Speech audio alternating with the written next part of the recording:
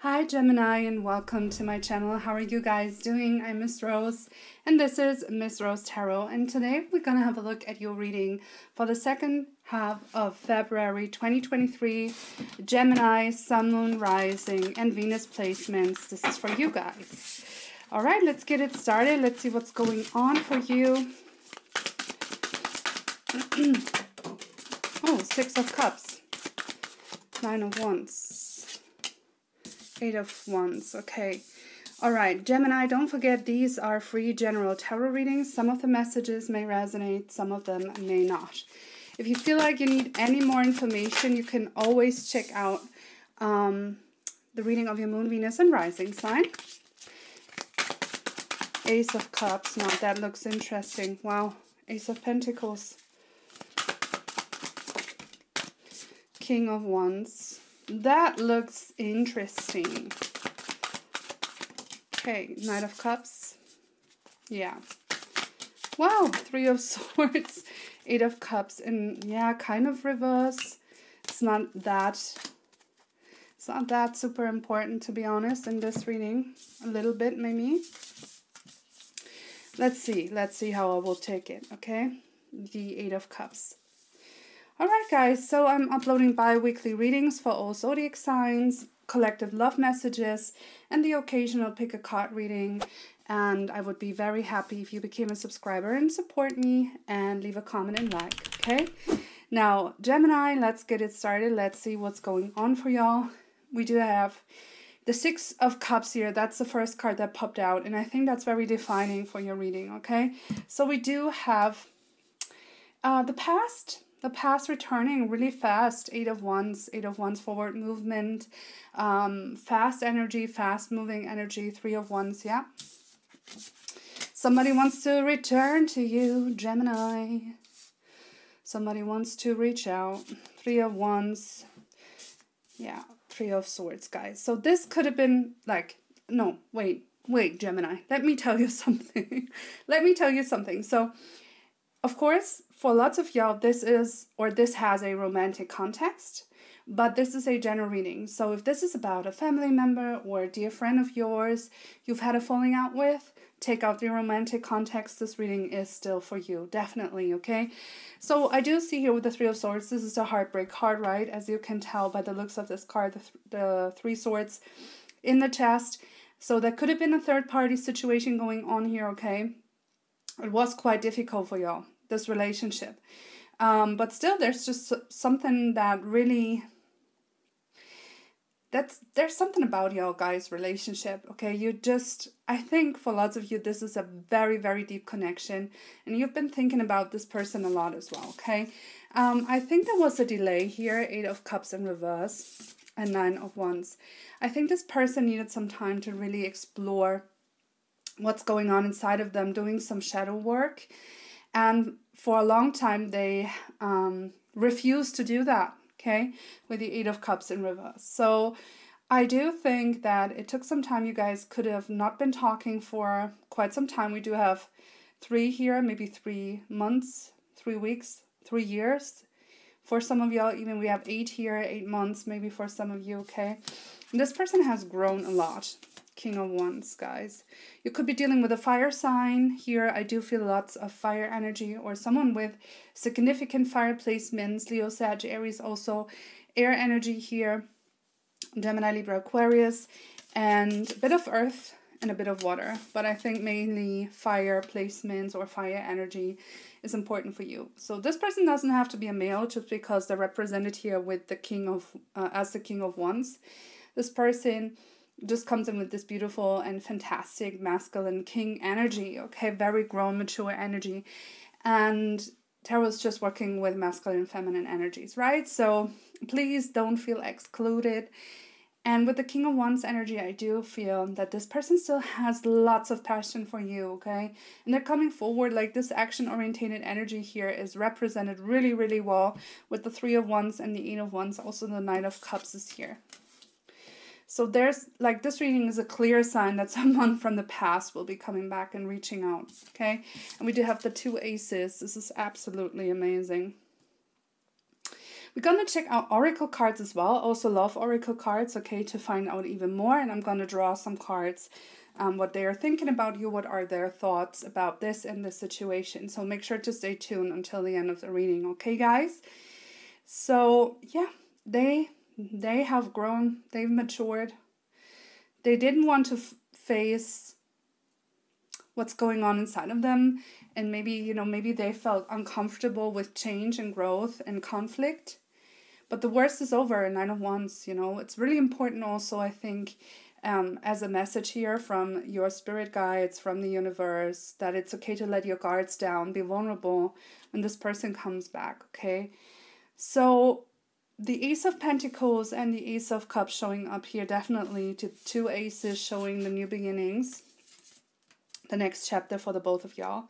And we do have this beautiful water energy here with the Ace of Cups combined with the Earth energy um, with the Pentacles. So this is a beautiful combination. And I'm going to tell you why. Because um, this Earth energy brings permanence and abundance and growth. Okay, so really, really nice energies here coming from this person. They're going to come back, call you, or text you and they're sincere. They want a second chance with you.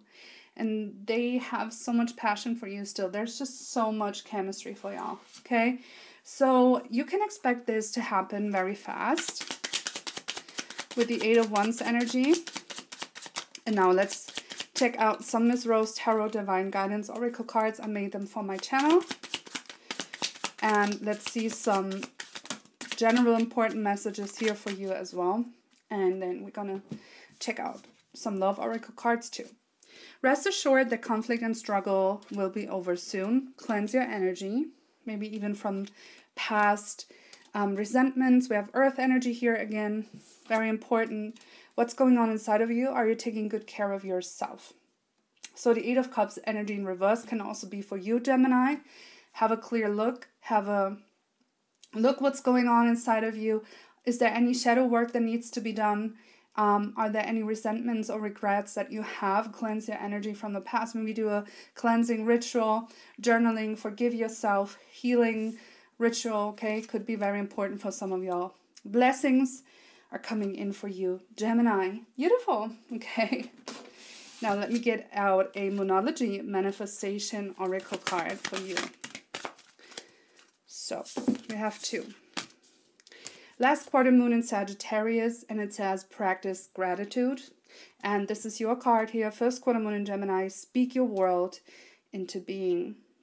Wow, really nice. Very powerful energies here.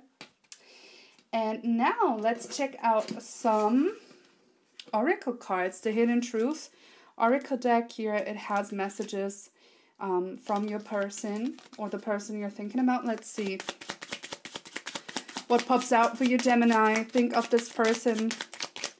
I know I messed up everything.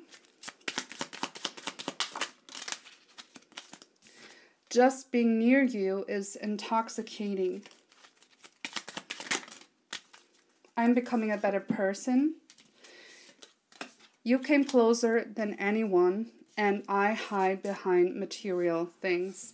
So we can translate this also like maybe they're not only hiding behind material things, but with the Eight of Cups in reverse, we do have this avoidant energy of like um, taking a closer look, like an in depth look, right? So maybe they were. Um, you know they were they, they could have been spending their time with superficial connections maybe okay gemini with superficial things but you know it's coming back it's always coming back it doesn't matter how much you try to avoid the things that need attention inside of yourself, it's coming back big time then, right? You came closer than anyone, and just being near you is intoxicating. Talking about this passion they have for you, this chemistry, okay? So there's just like you you are under their skin. I know I messed up everything and I'm becoming a better person. Sounds really beautiful. Sounds like taking respon taking responsibility, right? and um, seeing their part as well, what went wrong maybe in this connection, okay? And as I said, if this is about a friend, then they're taking care of their part as well. So palm tree, stability, security, permanence, growth, endurance, and flexibility. And I do love this, okay? So what I love about this is that you have this stability, security, so this earth energy, but also the, the growth and the endurance and the flexibility. And I think that's really important for my Gemini. So We have the karmic relationship, fleeting triggers, turmoil, resentment, lessons, letting go, and loving you. So a karmic relationship, usually in the spiritual field, does not have a very good reputation. In your case, I wouldn't say that this was a karmic relationship. I think there's more to to it than that but I think you guys could have given each other karmic lessons, let's say it that way. I like you. Someone likes you. Romance is blooming. Fun flirting. Want to date. Very light-hearted energy. I love that though. Okay, taking um, the the very heavy energies away a little bit. Now let's see some romance angels. Last but not least for you, Gemini, and for this situation, passion Allow your heart and soul to sing with joy and separation. The time apart from your partner is on the horizon. Where this talks about the past for most of you, okay? Then we have let go of control issues, allow the situation to unfold naturally. Keep an open mind. Your soulmate may differ from your usual type and expectations and finances and career. Financial issues are a factor in your love life right now. So, these messages could be really important for some of your guys. Take them how they resonate. Maybe this person was struggling financially as well. I hide behind material things, okay? Maybe they have like compulsive uh shopping issues going on or that was like that in the past for some of you okay so there are lots of possibilities with these messages keep an open mind so i think for some of you maybe thought this person was not going to come back but they they are they are coming back okay for for some of you, this could be a surprise, Gemini. All right, guys, thanks so, so much for watching. This was your second reading for February, Gemini. If you want to support me, please leave a thumbs up. You can leave a comment as well. Of course, I would be very happy if you became a subscriber. And I do. See you next time. Bye, guys. Love y'all.